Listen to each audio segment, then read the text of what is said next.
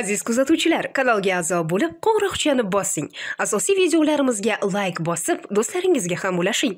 Bu bilan siz xan academy o'zbekning rivojlanishiga va ommalashishiga o'z hissangizni qo'shgan bo'lasiz.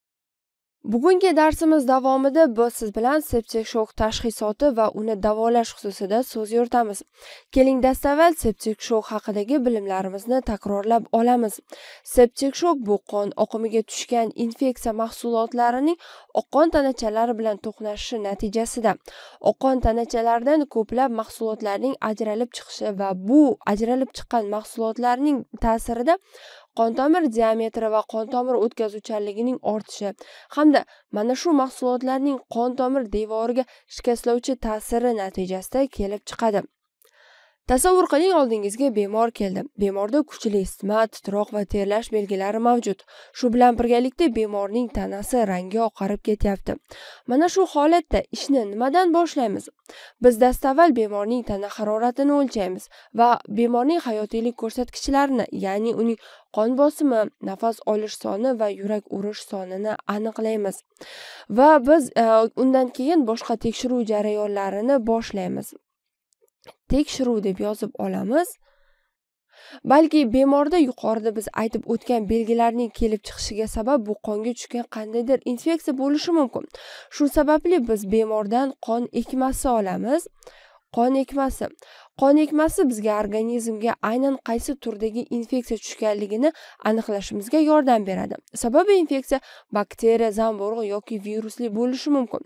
Qon ekmasini olish orqali biz bemordan yuqoridagi simptomlarning kelib chiqishiga aynan qaysi turdagi infeksiya sabab bo'lganligini aniqlab olamiz. Shu bilan birgalikda biz bemor qonida laktat kislota miqdorini ham aniqlab olishimiz kerak. Laktat kislota bizga ma'lumki har qanday shok holatida organizmda to'qima perfuziyasi kamayib ketadi. Buning natijasida hujayralar hayot faoliyatini ta'minlash uchun yetarlicha kislorod yetib kelmaydi. Buning natijasida hujayralar anaerob metabolizm jarayoniga o'tadi. Anaerob metabolizm natijasida yondosh mahsulot sifatida ko'p miqdorda laktat kislota ishlab chiqariladi. Va mana bu bizda qonda laktat kislota miqdorini aniqlash shok holatini baholash olishga yordam beradi. Shu bilan birgalikda biz bemorlarda arterial qondagi gazlar miqdorini aniqlashimiz ham mumkin. Bu orqali biz qondagi karbonat angidrid va kislorod miqdori hamda qonning ph ko'rsatkichi haqida ma'lumot olamiz. Biz spetsifik tekshiruvlar ham o'tkazishimiz mumkin. Bu aynan ma'lum bir turdagi organning shikastlanish darajasini baholashimizga yordam beradi. Masalan biz bemor qonidagi mochevina mochevina va kreatinin miqdorini aniqlashimiz mumkin kreatinin kreatinin organizmda kislorod yetishmovchiligi yuzaga kelganda bu turli organlarga shikastlovchi ta'sir ko'rsatishi mumkin. Masalan kislorod yetishmasligi natijasida buyraklar faoliyati buziladigan bo'lsa organizmda kreatinin va mochevina ekskretsiyasi biroz buziladi va qonda bu moddalarning ortib ketish belgilari yuzaga keladi. Albatta organ spetsifik tekshiruvlarni boshqa organlar uchun ham o'tkazishimiz mumkin. Biz aynan bu yerda misol qilib buyrak organini keltirdik. Yuqoridagi tekshiruvlar yordamida bemorda septik shok tashxisi tasdiqlanganidan keyin biz bemorda zudlik bilan davolash ishlarini boshlashimiz kerak. Davolash. Bemorda zudlik bilan davolash ishlarini boshlashimizga sabab septik shok holati o'lim darajasi yuqori holatlardan biri hisoblanadi. Shu sababli septik shok tashxisi aniqlanganidan keyin biz bemorlarda zudlik bilan keng spektrli antibiotik terapiya boshlashimiz kerak. Bu e, keng spektrli antibiotik bizda gram musbat gram manfiy bakteriyalarga qarshi bo'ladi. Agarda bemorga keng spektrli antibiotiklar yordam bermasa u holatda zamburug'larga qarshi dori vositalarini qo'llashimiz kerak. Biz yuqorida siz bilan bemordan qon ekmasi tekshiruvini olgan edik. Qon ekmasi orqali biz bemor qonida aynan qaysi turdagi infeksiya borligini aniqlashimiz mumkin. Davolashni dastavval keng spektrli antibiotikdan boshlaymiz. Keyinchalik aynan qaysi turdagi infeksiya bemorda septik shok holatini keltirib chiqarganligi aniq bo'lganidan keyin biz bemorda e, dori vositasini biroz o'zgartirgan holatda etiatrop antibiotik terapiya boshlaymiz.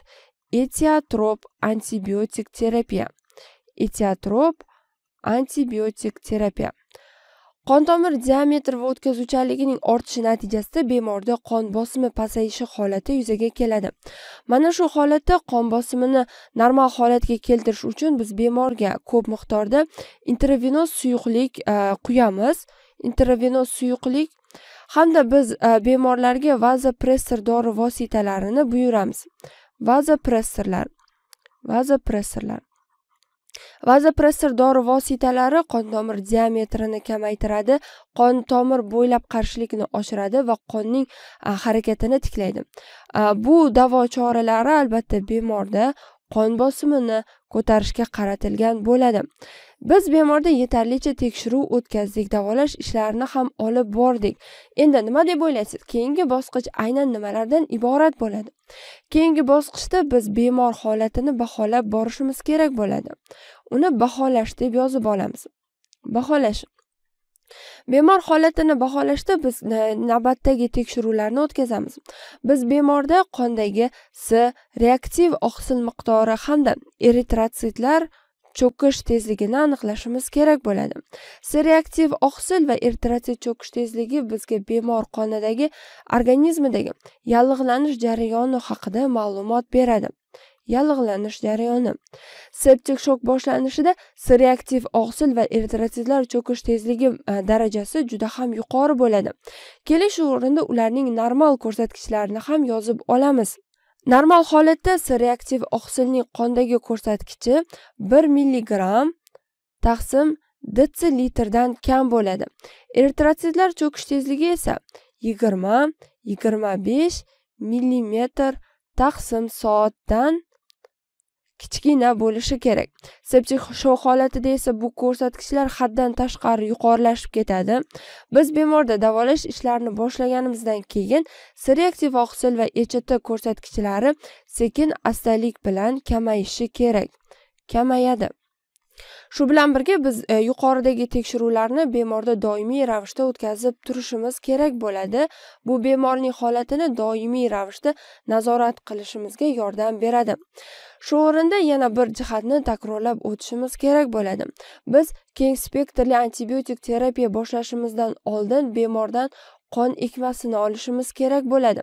Sababi agarda keng spektrli antibiotik qo'llashni boshlaganimizdan keyin qon ekmasini oladigan bo'lsak u holatda ekma tarkibida antibiotik saqlangan bo'ladi va bu bizga to'g'ri va to'liq ma'lumot olishimizga to'sqinlik qiladi. Shu sababli dastavval biz bemordan qon ekmasini olishimiz kerak bo'ladi.